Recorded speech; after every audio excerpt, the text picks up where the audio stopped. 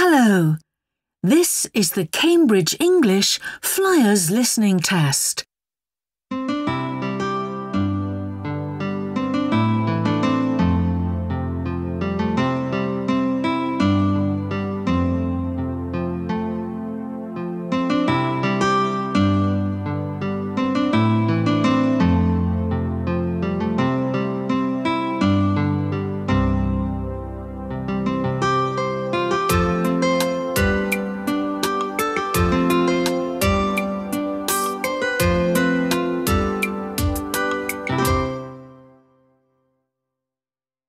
1.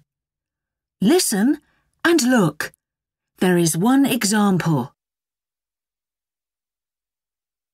Do you know some of these people at the beach? Yes, I do. Can you see the man under the umbrella?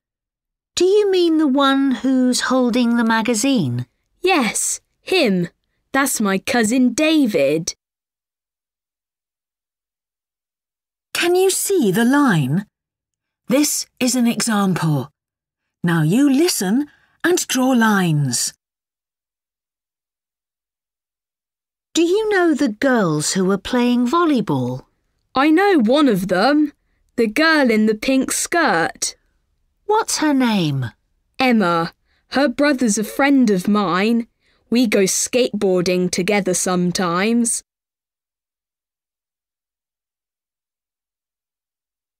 That man doesn't look very happy. Oh, you mean William? Well, he was asleep, but he woke up when the volleyball hit him on the head. What's he saying? Please be more careful next time, I think.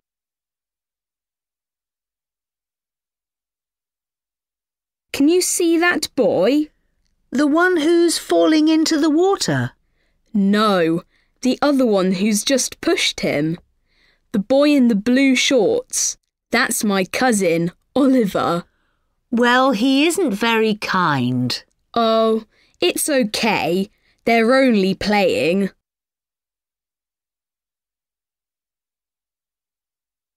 And look, Daisy's here too.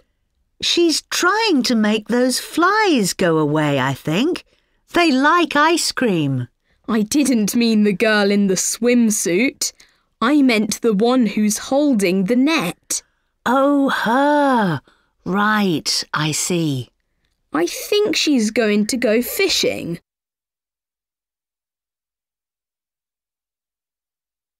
And what's that boy's name? Which boy? The boy with the shell. Is he collecting them? Perhaps. He's got a big smile on his face. He's called Jack. Right. Let's go and talk to him. OK.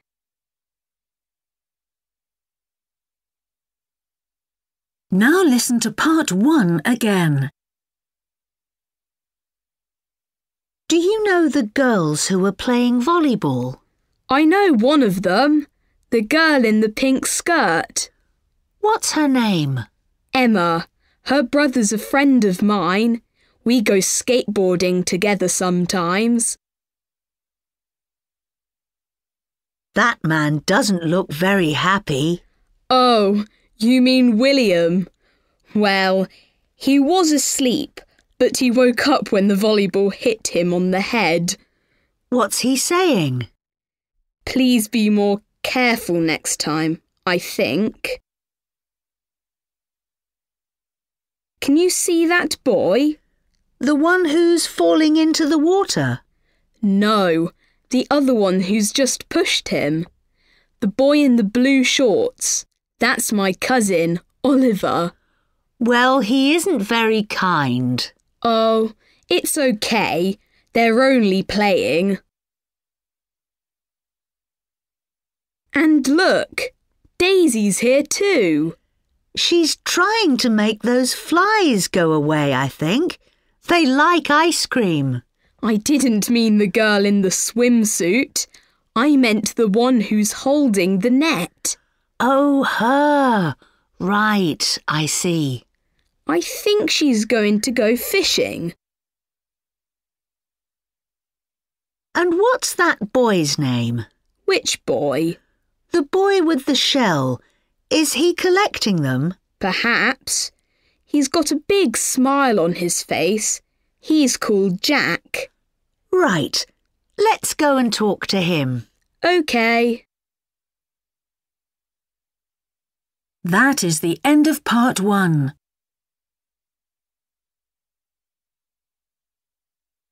Part two. Listen and look. There is one example. Dad, the man from the new homes office phoned today. He wanted to speak to you. Oh, yes. Was it about a house which someone wants to sell? Yes, that's right. And it sounds really cool. Well, we might buy it. Can you see the answer? Now you listen and write. Where is the house? I mean, what's the address? It's number 12, Princes Street. How do you spell the name of the street? I want to write it down. It's P R I N C E S. I don't know that street. Is it near the train station? That's important for me. No, it isn't. It's near the library. It's a nice quiet street, he said. My friend Jane lives near there and she likes it very much. How many bedrooms has it got? It's got three. And listen to this. There are two bathrooms, a big one upstairs and a smaller one downstairs. Well, that's good for us. Is there a garden? Yes, there is. And is there a swimming pool in the garden? No, Dad. There's a swing in it. Hmm, it sounds nice. How much is it? The man didn't tell me. But my friend Jane says. He didn't tell you. But that's the most important thing. Well, is it expensive? Sorry, Dad. I don't know. But there's something else. Something great. What? The house has got a music room. Has it? Well, that's something different. Where is it? It's in the basement.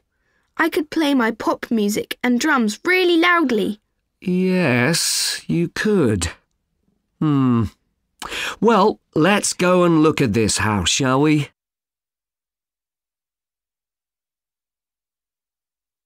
Now listen to part two again. Where is the house?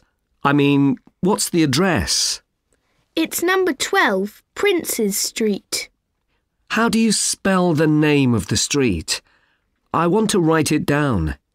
It's P R I N C E S. I don't know that street. Is it near the train station? That's important for me. No, it isn't. It's near the library. It's a nice quiet street, he said. My friend Jane lives near there and she likes it very much. How many bedrooms has it got?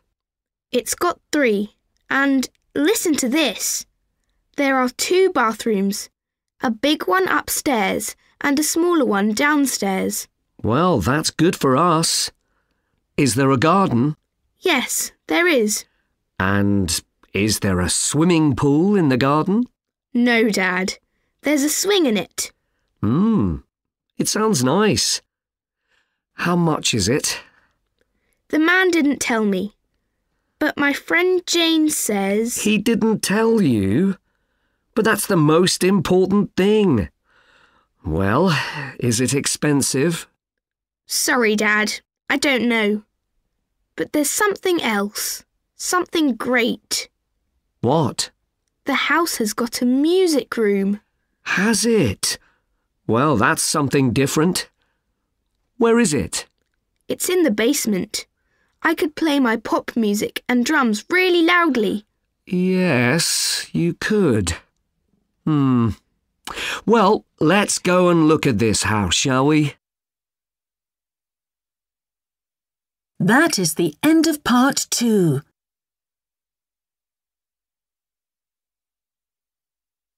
Part three. Listen and look.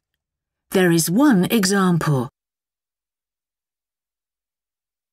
Peter teaches an art class for grown-ups.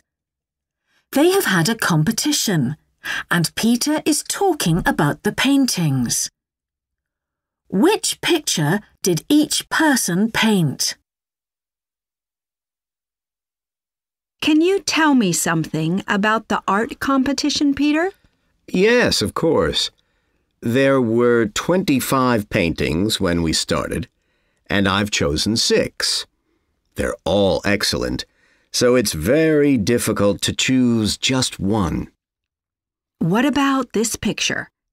The table with the bowl of fruit in the middle of it? That's Mr. Green's. I could eat that large piece of cheese. It looks so good. The light in the painting is excellent too, isn't it? Yes. Can you see the letter B? Now you listen and write a letter in each box. I like this picture of the old castle. Whose is this? Uh, let me see. That's one of Mrs. Cook's. She started painting it in the morning, but then it began to rain. So she had to finish it later. That's right, in her hotel room. Tell me about this picture. Here. The fields look lovely in the summer sun, don't they? Yes. It looks like a brilliant place for a picnic. No houses or streets. I think that's one of the best pictures by Mrs. West that I've ever seen. And what do you think of this one? What's it called? A Day at the Races. The artist, Miss Richards, has a lot of dogs at home, which she enjoys painting. But this is the first time she's tried painting horses. Well, I think it's really good. So do I. This one is a favorite. I can understand that. But snow isn't easy to paint. Mountains are really difficult too. Yes, but Mr. Bridges didn't have to worry about that here. No. And the kids are having lots of fun. Look! Yes. oh, I'm very interested in this one. Yes, me too. Mrs. Hill's very good at painting water. Who's the person in the lake? Her husband. It looks wonderful there. Thanks for showing me all the paintings. Well done to everyone. Now listen to part three again. I like this picture of the old castle. Whose is this? Uh, let me see. That's one of Mrs. Cook's. She started painting it in the morning, but then it began to rain. So she had to finish it later. That's right, in her hotel room. Tell me about this picture. Here. The fields look lovely in the summer sun, don't they? Yes. It looks like a brilliant place for a picnic. No houses or streets. I think that's one of the best pictures by Mrs. West that I've ever seen. And what do you think of this one? What's it called? A Day at the Races. The artist, Miss Richards, has a lot of dogs at home, which she enjoys painting. But this is the first time she's tried painting horses. Well, I think it's really good. So do I. This one is a favorite. I can understand that. But snow isn't easy to paint. Mountains are really difficult too. Yes, but Mr. Bridges didn't have to worry about that here. No. And the kids are having lots of fun. Look! Yes. oh, I'm very interested in this one. Yes, me too. Mrs. Hill's very good at painting water. Who's the person in the lake? Her husband. It looks wonderful there. Thanks for showing me all the paintings. Well done to everyone. That is the end of part three.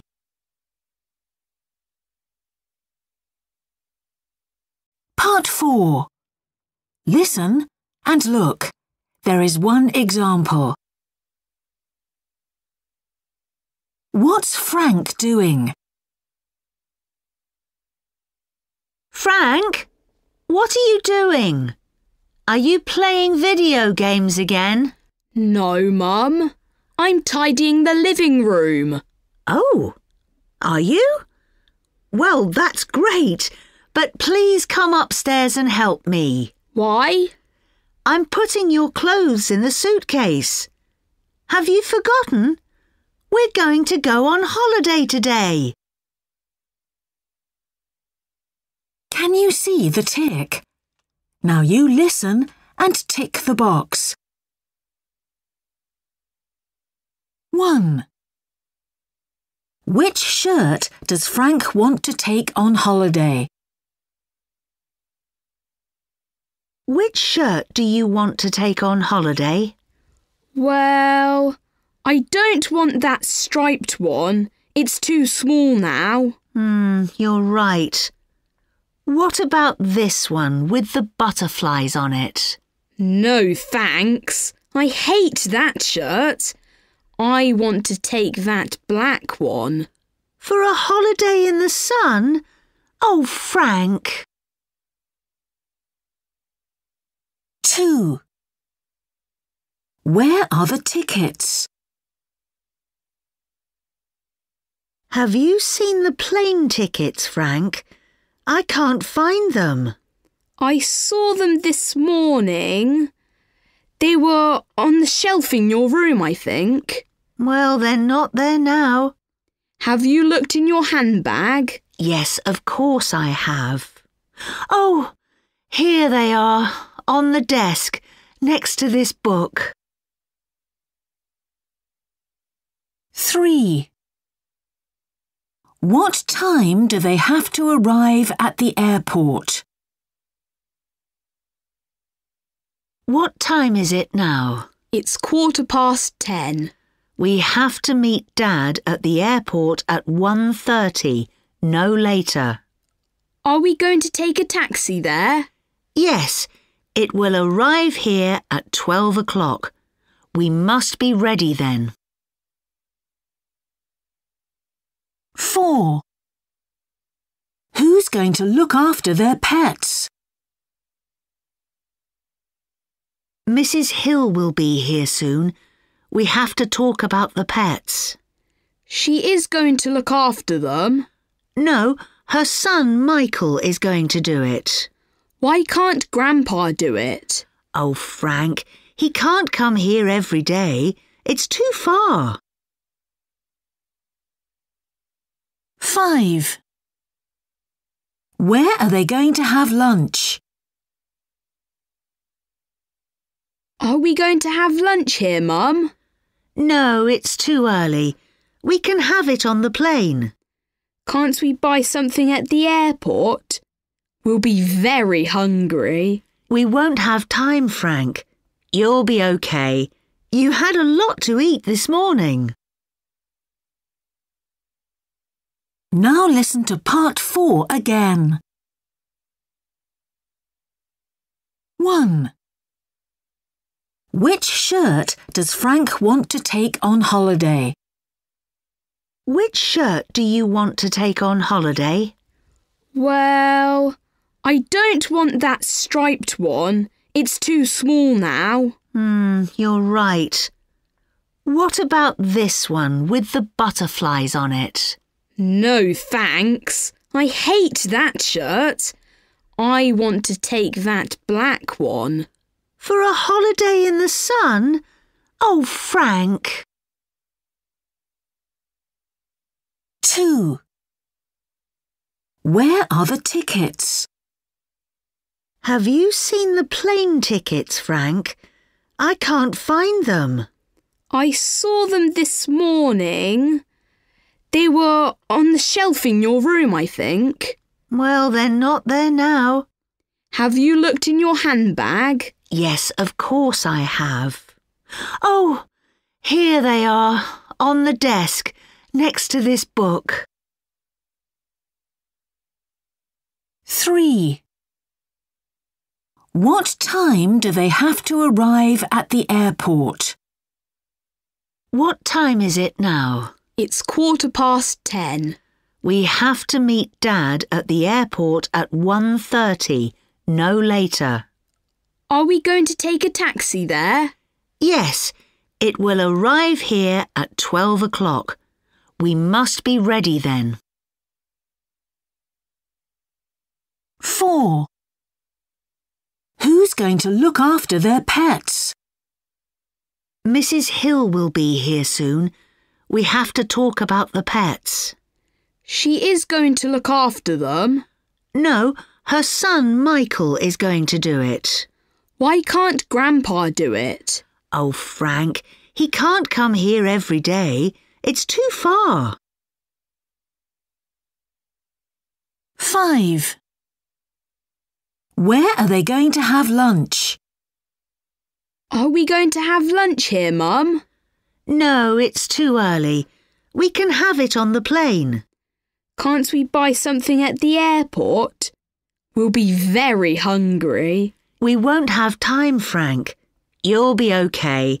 You had a lot to eat this morning. That is the end of part four.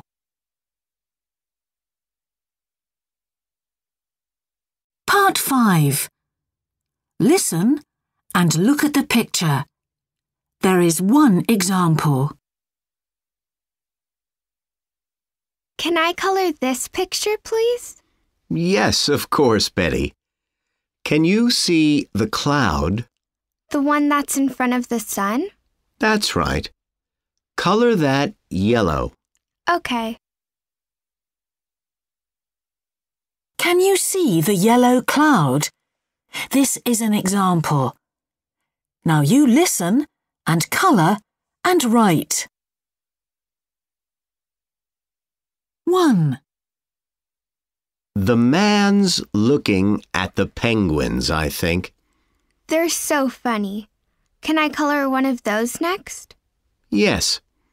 Color the one that's standing on the top of the rock. Use gray for that. All right, there. I think it's waving with its wings.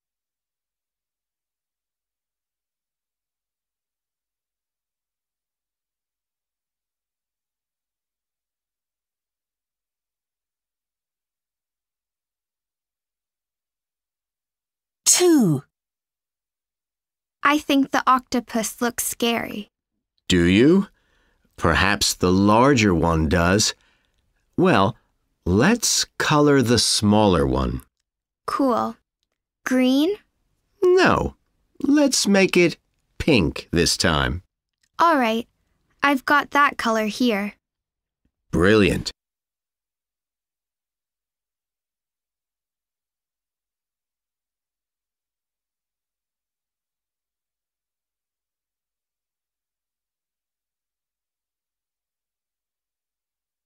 Three.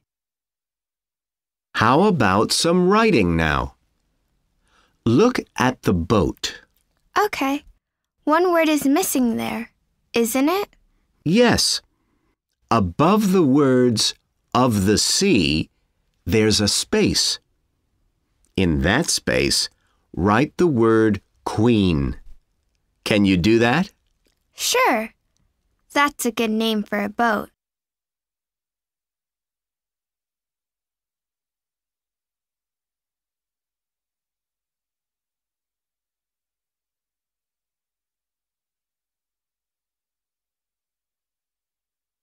Four. Can I write something else too? Yes. What would you like to write? Well, I'd like to write something on the treasure box in that square. Gold? Yes, I was thinking the same as you. Do you think they'll find it? I don't know.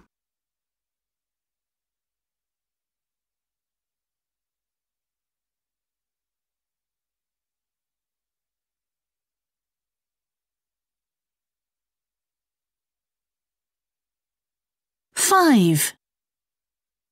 And now for some more coloring. Can I color the spotted fish?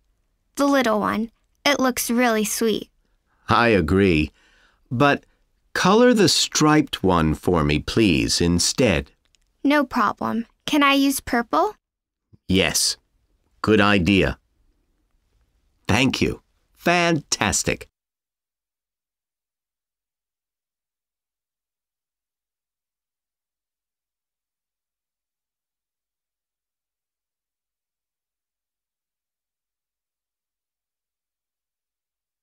Now listen to part five again. 1. The man's looking at the penguins, I think. They're so funny. Can I color one of those next? Yes. Color the one that's standing on the top of the rock. Use gray for that. All right, there. I think it's waving with its wings.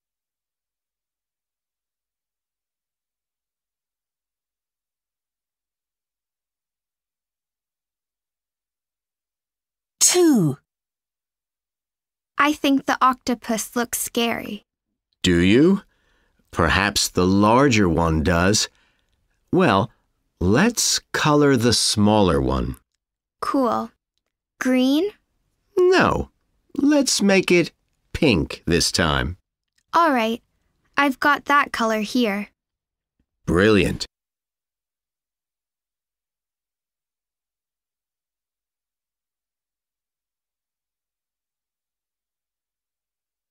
Three. How about some writing now? Look at the boat. Okay. One word is missing there, isn't it? Yes.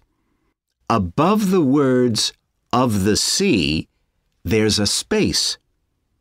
In that space, write the word queen. Can you do that? Sure. That's a good name for a boat.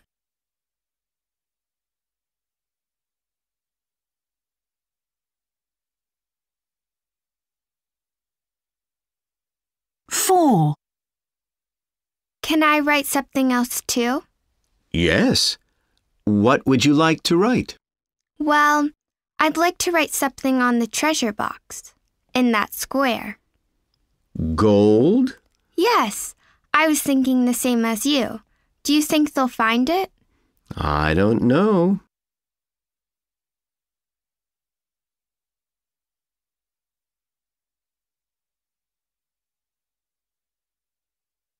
Five. And now for some more coloring. Can I color the spotted fish? The little one. It looks really sweet.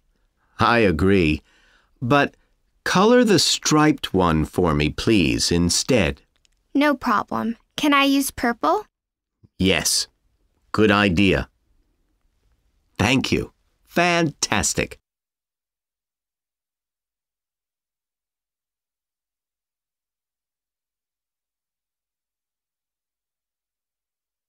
That is the end of the Flyers Listening Test.